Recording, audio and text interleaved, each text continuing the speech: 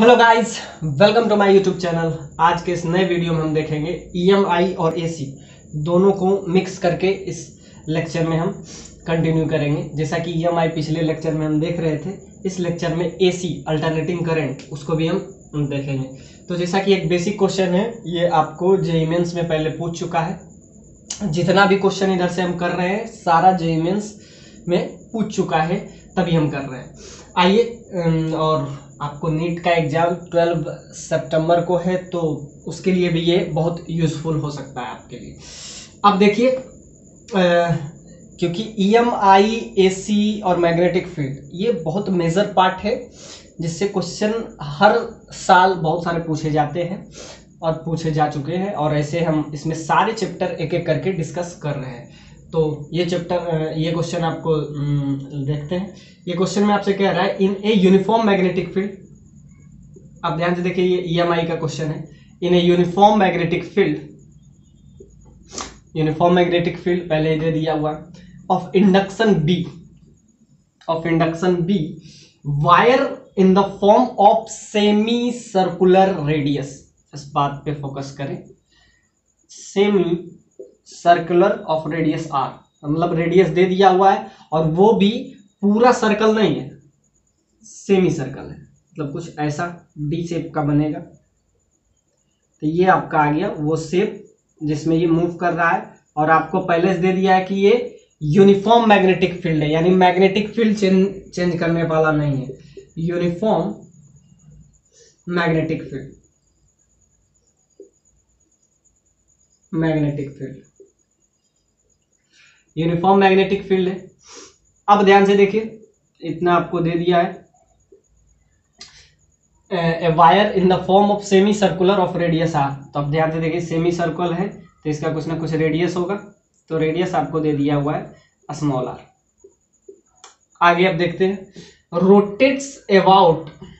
rotates about its diameter ये diameter के along move कर रहा है एक तो ये सेमी सर्कुलर है और ये डायमीटर के अलॉन्ग मूव कर रहा है rotates about its diameter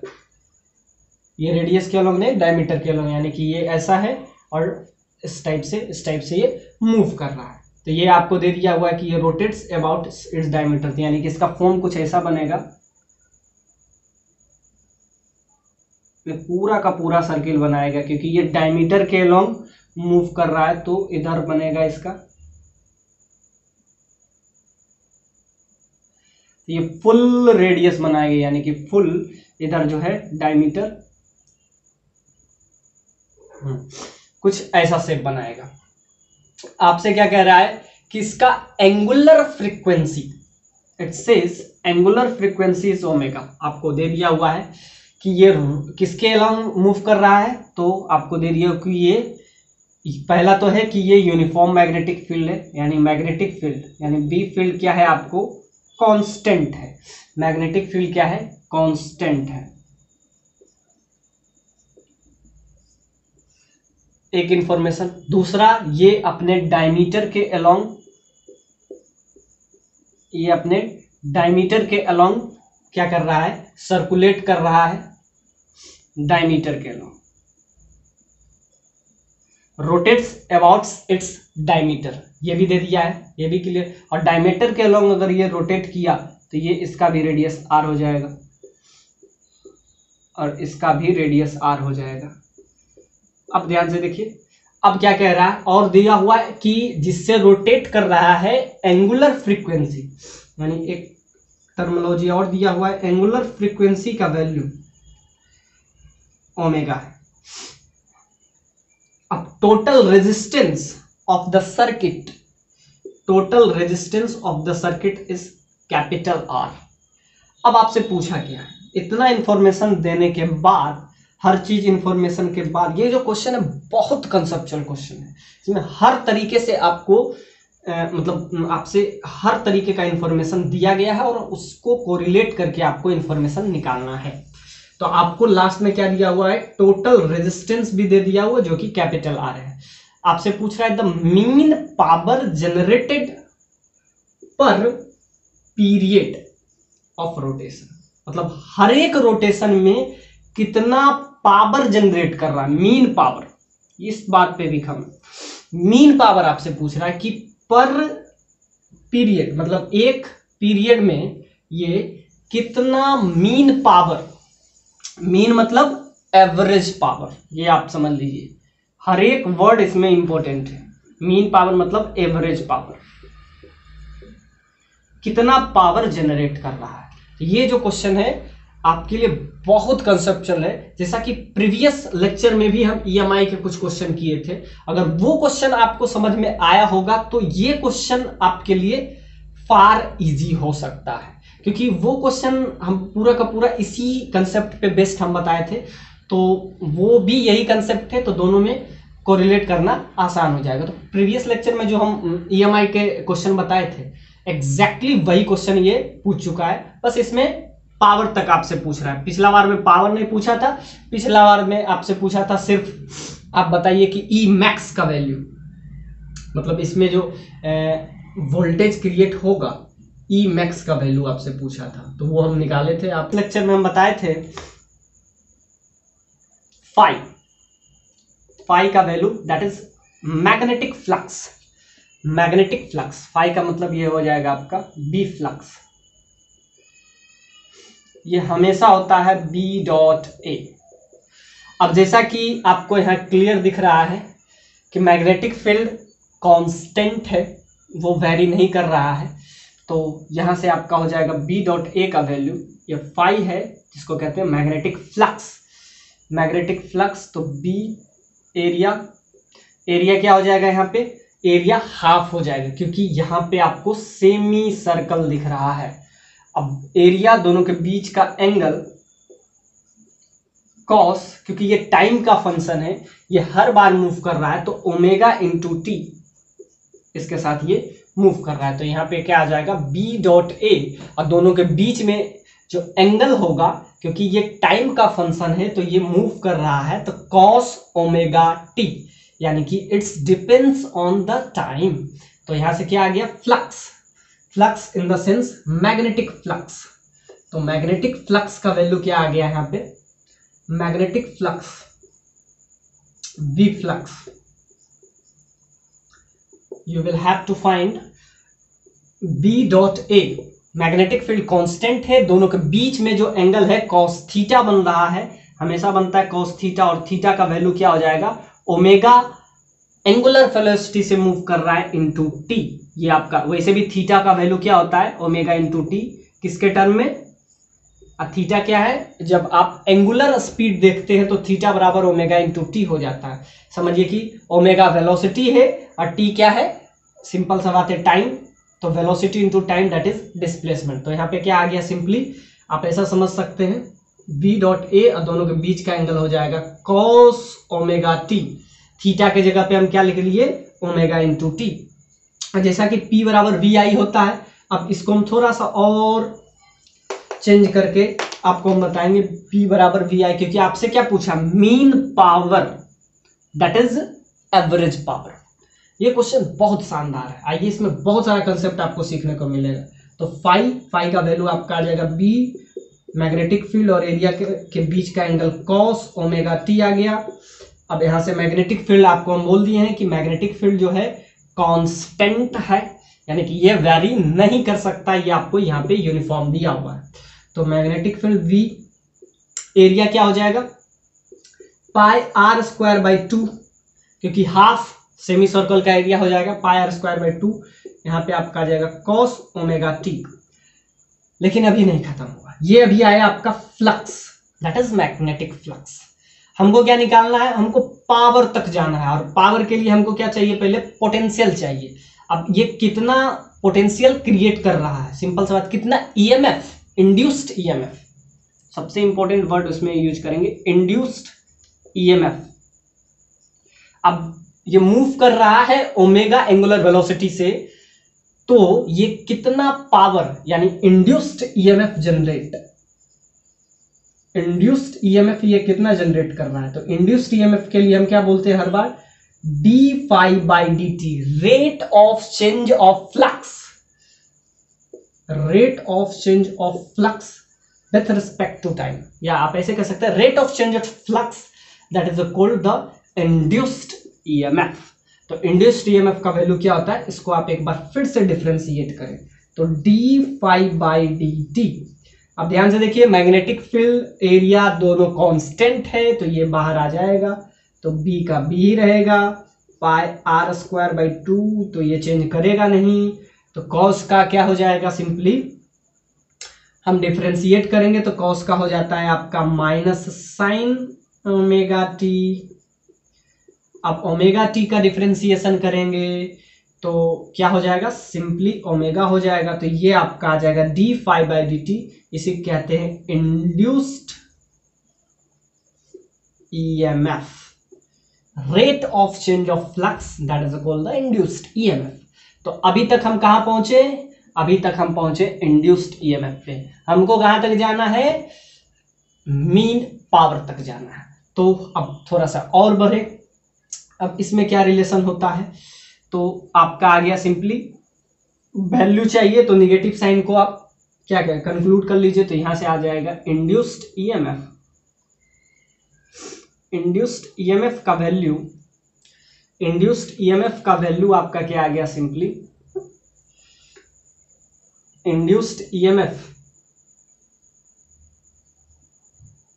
induced F का वैल्यू आपका आ जाता है rate rate of change of flux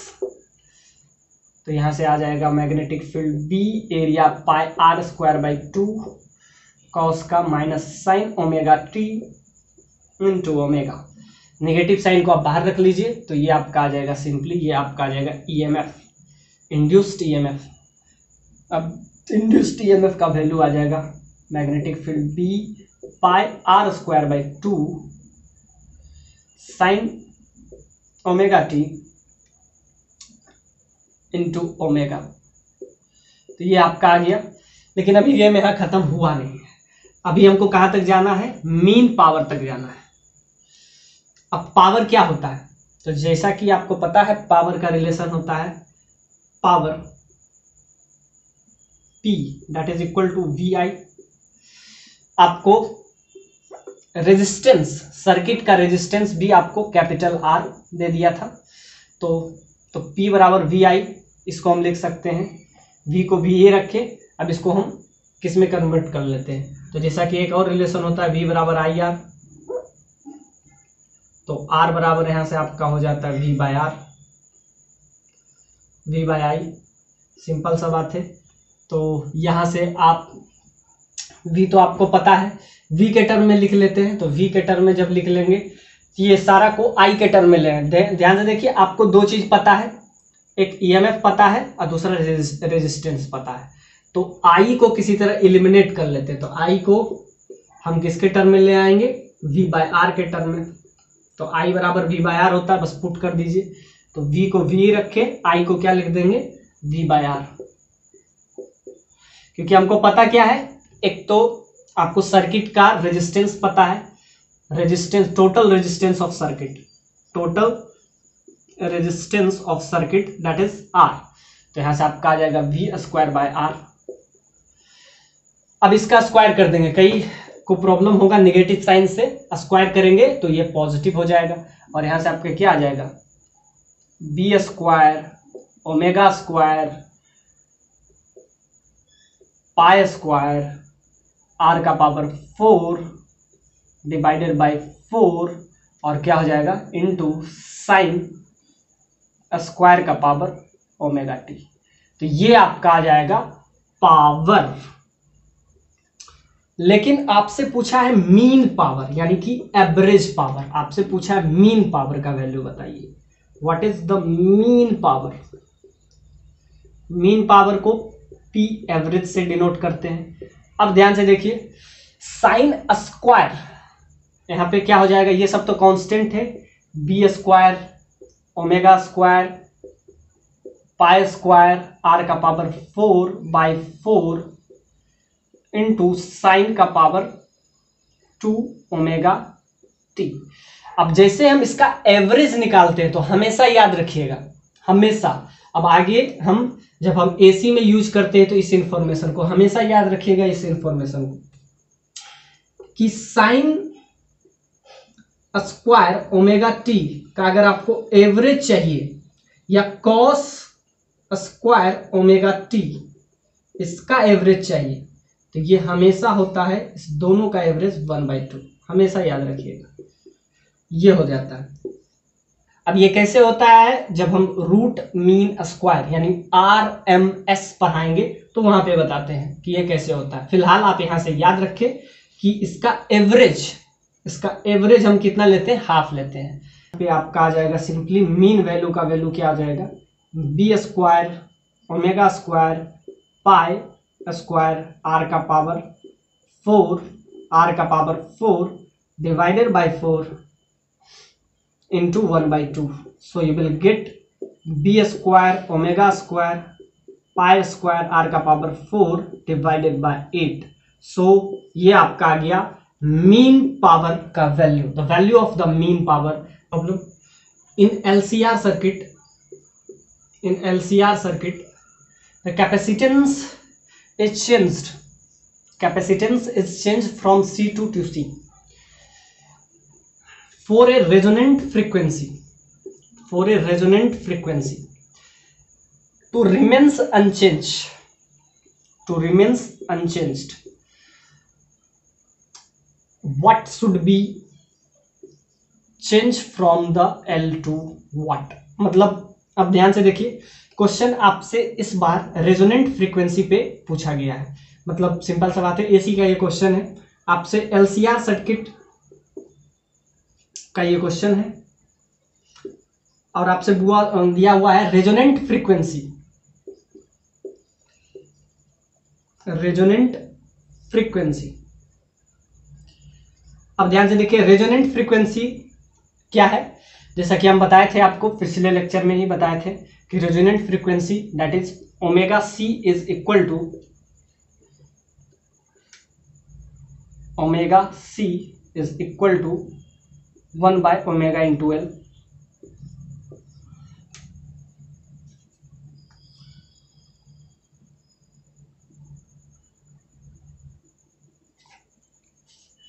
जैसा कि आपको पता है कि one by omega into C that is equal to omega into L तो ये आपका है this is condition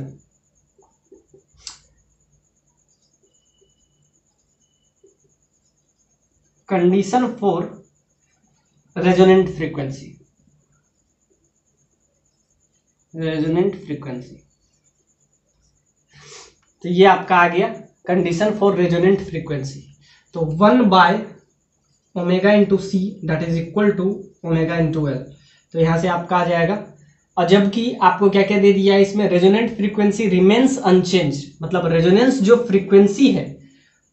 वो चेंज नहीं है रेजोनेंट फ्रीक्वेंसी और जबकि ये फ्रीक्वेंसी नहीं है एंगुलर फ्रीक्वेंसी है तो ध्यान से देखिए रेजोनेंट फ्रीक्वेंसी का वैल्यू क्या होता है two pi omega that is the resonant frequency यानी कि ये जो है कभी चेंज नहीं करे इट्स रिमेन्स अनचेंज यहां बोल दिया इट्स रिमेन्स अनचेंज यानी कि ये चेंज कभी नहीं करेगा इट्स रिमेन्स अनचेंज तो यहां से आपका आ जाएगा क्या omega square into L C that is equal to one तो यहां से आपका आ जाएगा ओमेगा का वैल्यू सिंपली ओमेगा का वैल्यू आपका आ जाएगा one upon root over L C ये आपका आ जाएगा और जबकि आपको दे दिया हुआ है कि इसमें फ्रीक्वेंसी कभी चेंज नहीं करेगा कौन सा रेजोनेंट फ्रीक्वेंसी जो भी होगा तो रेजोनेंट फ्रीक्वेंसी का वैल्यू क्या होता है टू पाई ओमेगा ओमेगा का वैल्यू क्या है one by L C root L C ये आपका हो जाएगा फ्रीक्वेंसी ये फ्रीक्वेंसी कौन सा हो जाएगा रेजोनेंट फ्रीक्वेंसी ये आपको बोल दिया है कि ये चेंज नहीं करेगा तो जैसा कि कैपेसिटेंस जो है चेंज कर रहा है सी से टू सी से सी से टू सी तक पहुंच गया अब रेजोनेंट फ्रीक्वेंसी जो है वो चेंज नहीं करना चाहिए रेजोनेंट फ्रीक्वेंसी तो क्या है resonant frequency two pi root over L C ये होना चाहिए आपका कांस्टेंट होना चाहिए ये कभी चेंज नहीं होना चाहिए तो ध्यान से देखिए पहले इसका एल था इंडक्टेंस और कैपेसिटेंस बी शुरुआती स्टेज पे क्या था इसका एल था और इसका क्या होना चाहिए ये तो आपसे क्वेश्चन में ही पूछा है तो पहले दोनों का एल सी था यानी कि रेजोनेंट फ्रीक्वेंसी का वैल्यू पहले क्या था पहले आपका था to pi root over L C का रूट ये आपका था फ्रीक्वेंसी अब ये चेंज नहीं करना चाहिए तो इसमें एक चीज तो चेंज कर गया है सी टू सी में कन्वर्ट हो गया यानी two pi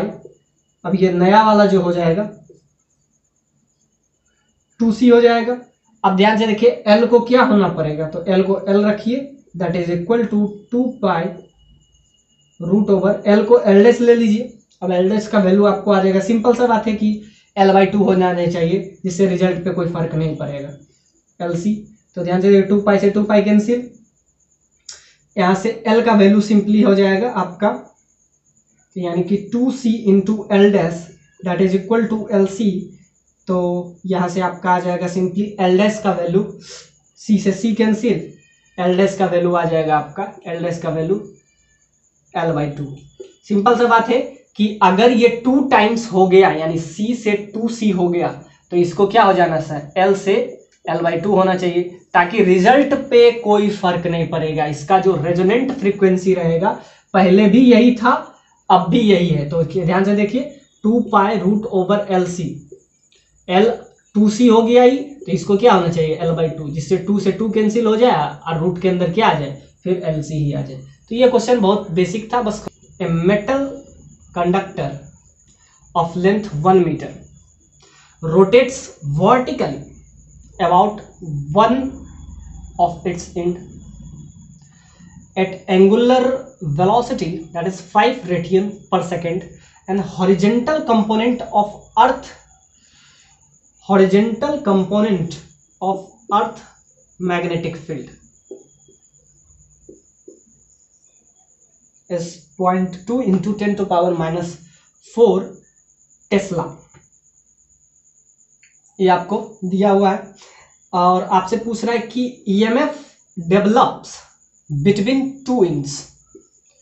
between two inch of the conductor अब ये क्वेश्चन काफ़ी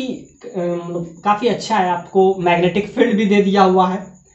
और इसका थोड़ा सा फिगर हम बना लेते हैं तो कुछ ऐसा बना है इस टाइप से कंडक्टर है आपका a metal conductor of length one metre rotates about vertically यानी कि ये जो है इस टाइप से वर्टिकली रो, रोटेट कर रहा है ऑरिजेंटली नहीं वर्टिकली रोटेट कर रहा है और रोटेशन यानी एंगुलर वेलोसिटी ओमेगा का वैल्यू आपको दे दिया हुआ है फाइव रेडियन पर सेकेंड आपको इस मेटल कंडक्टर का लेंथ भी दे दिया हुआ है लेंथ आपको वन मीटर दे दिया हुआ है तो जैसा कि इसमें हम फॉर्मूला डेराइव करके लाए थे कि B omega square L square by two ये आपका हो जाता है induced EMF e induced EMF e का वैल्यू आपका ये होता है B omega square B omega L square by two तो बस इसमें वैल्यू पुट कर दीजिए आपको यहाँ पे मैग्नेटिक फील्ड भी दिया हुआ है ओमेगा भी दिया हुआ है लेंथ भी दिया हुआ है बस इसमें वैल्यू पुट कर देंगे मैग्नेटिक फील्ड आपको दिया हुआ point two into ten to power minus four omega का वैल्यू आपको दे दिया हुआ है five radian per second length आपको वन मीटर दिया हुआ है तो वन मीटर का स्क्वायर डिवाइडेड बाय टू तो ये जो फॉर्मूला है इंड्यूस्ड एफ e का B omega L square by two बस वैल्यू पुट कर लीजिए यहाँ से आपका रिजल्ट निकल जाएगा ये आपका आ जाएगा पॉइंट वन तो यहाँ से आ जाएगा ten to power minus five into five तो ये आपका आ जाएगा सिंपल सा बात है इतना वोल्ट आपका आ जाएगा तो ये क्वेश्चन काफ़ी मतलब फॉर्मूला पुटिंग क्वेश्चन था इसमें ज़्यादा कंसेप्ट है